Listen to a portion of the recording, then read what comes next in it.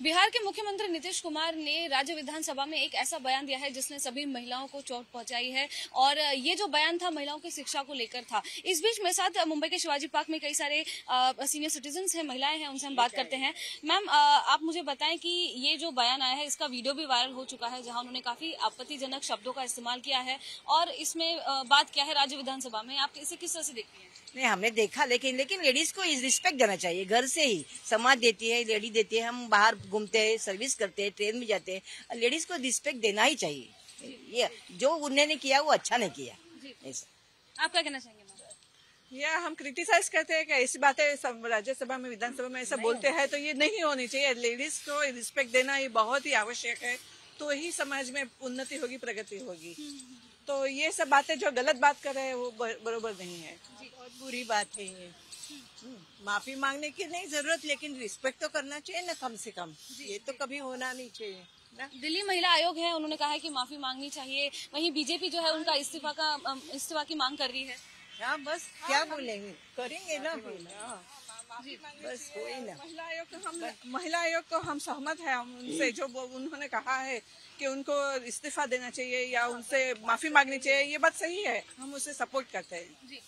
Ma'am आप क्या कहना तो उतना ही मांगते माफ़ी उतना लेकिन उनके नेचर होता है कि लेडीज़ को दबाने का। घर से ही उनके जो संस्कार है ना वो अच्छे नहीं उनके। वो ऐसा नहीं करना चाहिए ना। हाँ। एक एक नेता है वो एक हाँ, प्रतिनिधि है। ऐसा नहीं करना चाहिए ना कि समाज है समाज है इसलिए तुम लोग है। समाज तुमको ऊपर करते है ना। इसलिए ऐसा उन्हें नहीं करना चाहिए। आप क्या कहना महिला महिला आयोग के हिसाब से मैं उसके सामान उसके साथ हूँ। और मुझे ऐसा लगता है कि महिला जहाँ भी जाती है तो उससे सम्मान से देखना चाहिए यानी सम्मान करना ऐसा नहीं।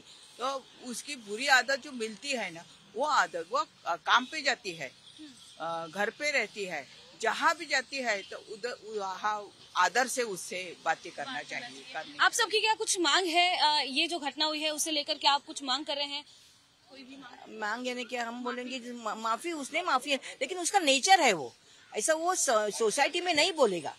अगर वो अच्छा होगा ना स्वभाव से तो वो सोसाइटी में नहीं बोलेगा। उसका नेचर ही है कि लेडीज़ को दबाने का। बोलेंगे तो आम आदमी क्या बोलेगा? घर में घर में मम्मी नहीं बच्चे लोग मम्मी नहीं हो लेडीज़ को कितना रिस्पेक्ट है घर में।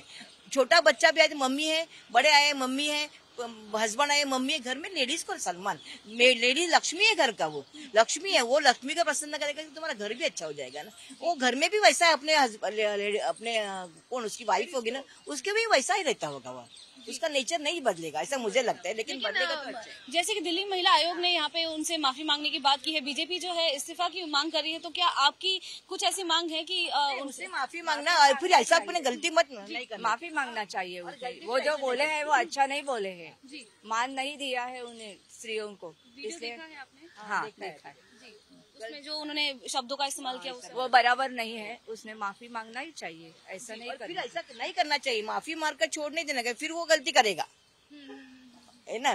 सिर्फ़ माफ़ी मांगने में कुछ होता नहीं है। सिर्फ़ ये ये ऐसा फिर बोलना नहीं चाहिए। किसी भी समाज में जाकर लेडीज़ हाँ दोहराने नहीं ये गलती वापस दोहराने नहीं चाहिए। सिर्फ़ माफ़ी मांगने के लिए मांगने का ऐसा नहीं होना चाहिए।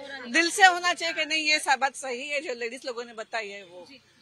से ये वापस वैसा नहीं होना चाहिए। ये हमारा कहना है। ये सब शो ऑफ़ नहीं करने का माफ़ी मांगने का शो ऑफ़ नहीं करने का। ये गलती होनी नहीं चाहिए और रिस्पेक्ट देना चाहिए लेडीज़ को। वो जो पद पर है जो वो जो पद पर है उस पद पर रह के उनको ऐसा बोलना शोभा नहीं देता। धन्यवाद हमसे बात करने के लिए। नमस्ते। जैसे कि आप सब देख सकते हैं कि मुंबई के शिवाजी पार्क में जो मुंबई कर हैं जो सीनियर सिटीजन हैं उनका यही कहना है कि ये जो आपत्तिजनक बयान है ये देना बेहद गलत बात है। वो एक नेता होने के नाते जो उन्होंने राज्य विधानसभा में ये बयान दिया है वो कई महिलाओं के जो फीलिंग्स उन्हें आहत करता है इसी कारण से उन्हें माफ़ी मांगनी चाहिए और इस गलती को वापस दोहराना नहीं चाहिए यही जो मैसेज है मुंबई कर दे रहे हैं। कैमरा पर्सन प्रशांत माने के साथ मैं लता शर्मा एबीपी न्यूज़ मुंबई।